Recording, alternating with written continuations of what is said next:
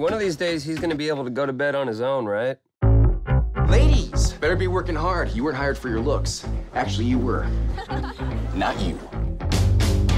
The reunion, you in? Seems like everyone's actually going. Hey, guys! You made it!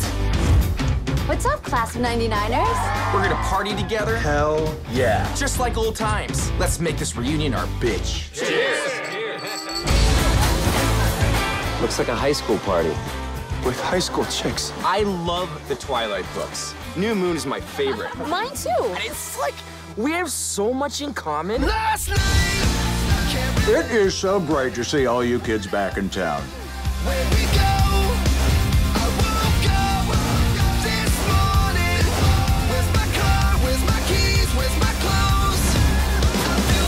You're a lucky man, Oz. Hey, guys, do you need a stare? Yes. Yes, we do need to stare. Lastly!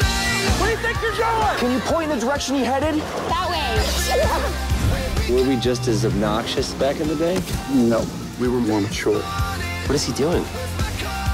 Is he taking a... Pinch it off. You know, Dad, it's been three years. You think maybe it's time for you to get back out there? Have a shot. I don't think so, Steven. I'm not, uh... Drink it. Drink No, it. no, no, drink it. Drink it. can't. Drink it. Drink it. Holy shit.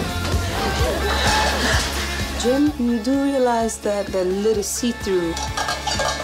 Good eye. American Pie Reunion. Who might you be? I'm Stifler's mom. Oh, I'm Jim's dad.